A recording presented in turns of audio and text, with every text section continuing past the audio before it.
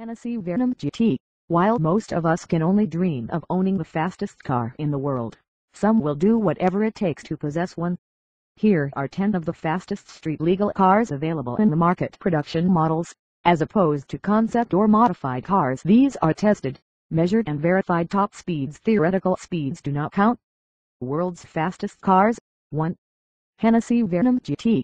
270 miles per hour 435 kilometers slash h0 to 60 mph in 2.5 seconds, has a 7.0-liter LS7 turbocharged V8 twin-turbo V8 engine producing 1244 HP, with a price tag of $1 million and up. The Venom GT is the fastest car in the world when tested again on February 14, 2014 at NASA Runway in Florida. The track was only 3.22 miles long, thus limiting its top speed to 270 miles per hour. Congratulations! 2.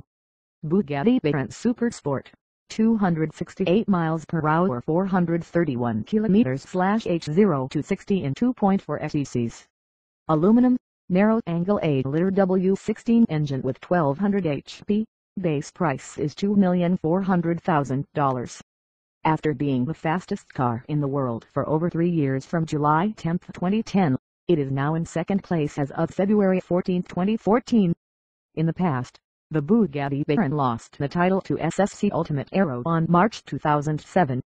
However, Bugatti challenged the record in Germany on July 10, 2010 with the new Supersport and reclaimed the title of the fastest car in the world at 268 miles per hour. The original Bugatti Veyron had a top speed of 253 miles per hour, priced at $1,700,000 with 1,001 HP. 3. Koenigsegg R 260 miles per hour 418 kilometers slash H0 to 60 mph in 2.9 SECs. 5.0 liter V8 engine with twin turbos, housing 1099 HP. Base price is $1,600,000. If you're into snow sports, the Agera R can be fitted with a ski box as well as winter tires. While the Agera R has a massive theoretical top speed, the current tested top speed is 260 miles per hour. Expect this snow car to be the Bugatti's arch enemy for the next five years. 4. SSC Ultimate Aero 257 miles per hour 413 kilometers slash H0 to 60 in 2.7 SECs twin-turbo V8 engine with 1183 HP.